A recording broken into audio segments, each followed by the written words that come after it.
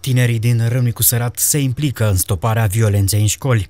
Este un demers binevenit în condițiile în care bullyingul sau violența școlară reprezintă un fenomen care a luat amploare în ultimii ani în România. Voluntarii centrului Europe Direct din Râmnicu Sărat și-au propus mai multe acțiuni prin care să demonstreze efectul negativ al bullyingului în mediul școlar. Tinerii spun că, deși nu se confruntă cu multe cazuri de violență fizică, violența emoțională rămâne cea mai îngrijorătoare, deoarece îi poate afecta pe elevi din punct de vedere al stimei de sine, dar și în ceea ce privește rezultatele școlare. La școală nu mai sunt cazuri de bullying uh, care să vizeze violența.